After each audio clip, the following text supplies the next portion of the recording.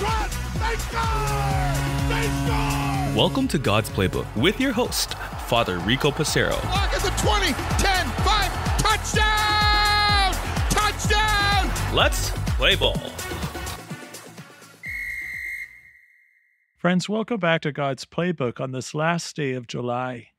Today we're going to talk about recognizing the daily blessings that God gives to us. We're halfway through the summer in an official way. The months of July and August are seen, at least where I live, as summer.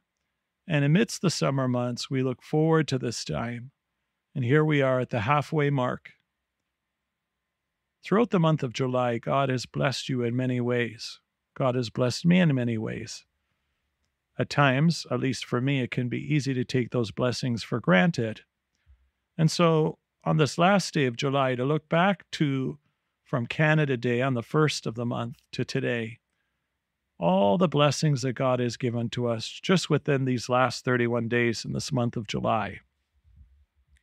We know that it can be a whirlwind. Summer, when we get to the end of it, always seems like it's gone so fast. And yet, isn't that true about each day, too? Each day is a gift from God. He's gifted each one of us 24 hours of grace. How do we spend that 24 hours? How have we spent the month of July? Hopefully, we've all grown spiritually. Hopefully, we've grown personally. And perhaps some of us even physical who are still growing either in height or sadly, people like me and perhaps you weight. The month of July has been filled with many joys. And so I invite us to take those joys into prayer, thanking God for all the blessings He's given us today. Perhaps some of us face some hardships in July. Have we grown from those hardships? Are those hardships ongoing that are going to spill into August? Were those hardships just for a period of time?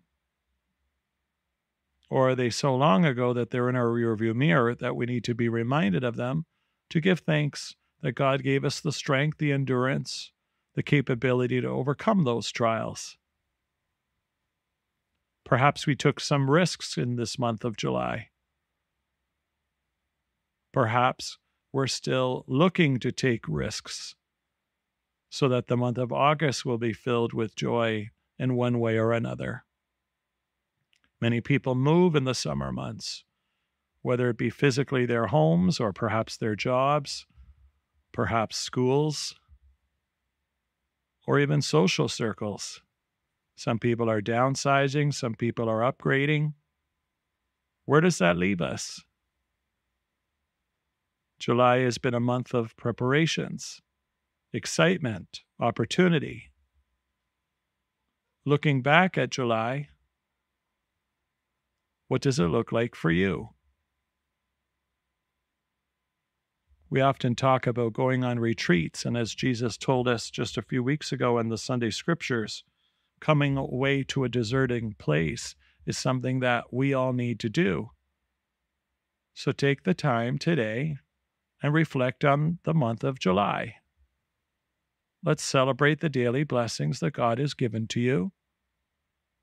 Talk to God about the ongoing challenges. Celebrate the wins. Learn from the losses. Endure the hardships, the crosses, the struggles. And celebrate the surprises, the opportunities, the growth. July indeed has been filled with God's blessings.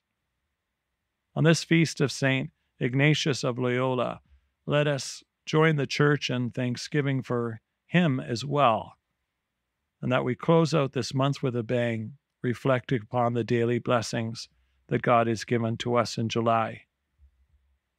Anticipation of the blessings of August as we begin this new month tomorrow if we've kind of relaxed too much in July, perhaps didn't get all the things we wanted to accomplish done. Let's work hard in asking God to help us to use August, to use that month as a way of growing personally, spiritually, and as a community as we recognize the daily blessings of God each day. For God's Playbook friends, I'm Father Rico. God loves you, and so do I. If you like what you hear, please consider supporting us using any of our affiliate links in the description below via Buzzsprout, Ko-Fi, or GoFundMe. Thanks, and God bless.